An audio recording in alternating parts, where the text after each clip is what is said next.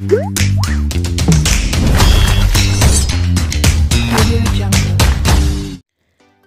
friends welcome back to my channel for cooking lovers आज मैं आपके लिए एक रेसिपी लेकर आई हूँ, वो है एग करी की रेसिपी जो थोड़ा मैंने डिफरेंट स्टाइल में इसे बनाया है, जो आप सभी को बहुत ही पसंद आएगा। आइए इसे हम बनाते हैं।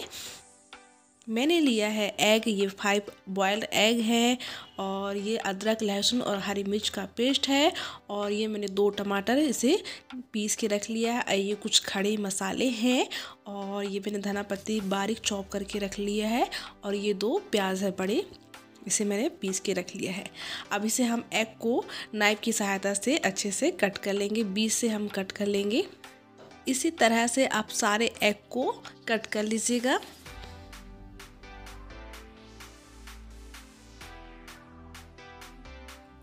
ये देखिए हमारे सारे एग जो है कट करके मैंने रख दिया है। अब इसमें हम डालेंगे थोड़ा सा रेड चिली और थोड़ा सा, मैंने आधा चम्मच से भी कम मैंने इसमें रेड चिली यूज़ किया है और थोड़ा सा मैंने नमक ऐड यूज़ करना है ताकि इसमें एग में अच्छे से टेस्ट आ जाए नमक का। हमने गैस पर रख दिया है कढ़ाई। अब इस पर हम डालेंगे ऑयल और इसे गर्म होने देते हैं। हमारा ऑयल जो है गर्म हो चुका है। अब इसे बहुत ही सावधानी से आप धीरे धीरे करके आप एग को डाल दीजिएगा। ये फूटे नहीं, आप ध्यान रखना। और हमारा जो ऑयल है वो अच्छे अच्छे से गर्म होना चाहिए, नहीं तो एग जो है वो चिपक जाएगा नीचे। तो ऑयल हमारा गर्म होना चाहिए और फ्लेम लो होना चाहिए थोड़ा मीडियम से मीडियम फ्लेम पर। ये देखिए, हमारे एग जो है फ्राई हो चुके हैं। इसका येलो पार्ट जो है वो अच्छे से फ्राई हो चुका है और थोड़ा ये जो पार्ट्स जो अंदर का जो फ्राई हो चुका है, वही डिफरेंट टेस्ट लाएगा। तो मैंने थोड़ा अलग अंदाज में बनाया है, आप भी ज़रूर ट्राई करना। और इसी तरह से हम सारे एग को निकाल लेते हैं और इसी बचे हुए ऑयल पर हम मसालों को फ्राई करेंगे। इसमें डाल दिया है मैंने खड़े मसाले, इसमें बड़ी इलायची है, तेज़ पत्ता है, जीरा है दो से तीन काली मिर्च है और लौंग है। और इसे हम थोड़ी देर भुनने देंगे, उसके बाद हम डालेंगे इसमें प्याज। इसे भी आप भुनने दीजिएगा।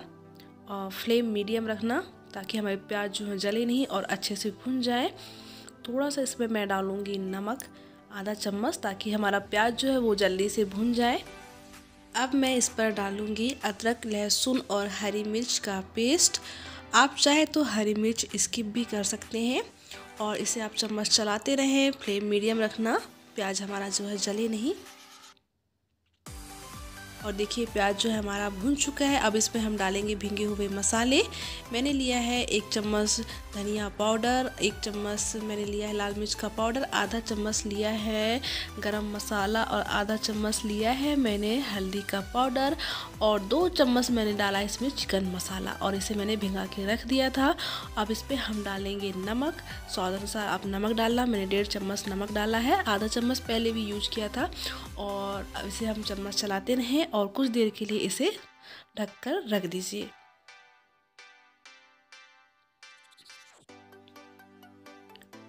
ये दो तीन मिनट बाद मैंने ओपन करके देखा है। देखिए हमारे जो मसाले हैं वो भून रहे हैं। अभी इसे अभी और भुनना है। तो इसे अभी थोड़ी देर के लिए और पकने के लिए छोड़ देते हैं ताकि हमारा मसाला जो है वह अच्छे से भुन जाए और हमारे जो हमारी सब्ज़ी है वो बहुत ही टेस्टी बने। और ये देखिए मसाले जो है अच्छी तरह से भुन चुके हैं। अब इस पर हम डालेंगे टमाटर की प्यूरी। मैंने दो टमाटर यूज़ किया है इस पर। आप चाहे तो बारीक चॉप करके भी टमाटर डाल सकते हैं और इसे हम पाँच से छः मिनट के लिए अच्छे से भुनने देते हैं ताकि हमारा जो टमाटर और मसाला है वो दोनों अच्छी तरह से भुन जाए और इसे हम ढककर पकने देते हैं।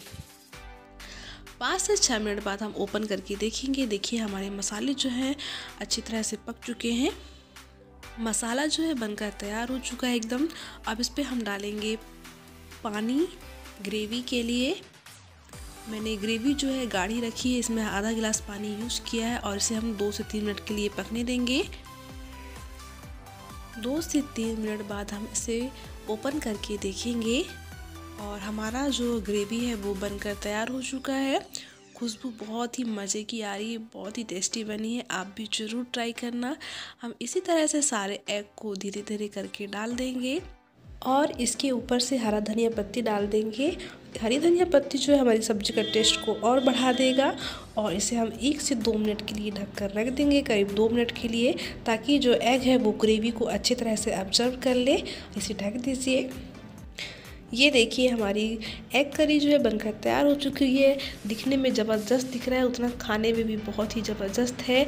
आप इसे गर्मा गर्म खाइए रोटी और राइस के साथ। और मेरी रेसिपी कैसी लगी आप ज़रूर बताना। अच्छी लगे तो लाइक कमेंट ज़रूर करना। अगर मेरे चैनल पर नए हैं तो प्लीज़ सब्सक्राइब करना ना भूलें। मिलते हैं नेक्स्ट वीडियो में। तब तक के लिए बाय बाय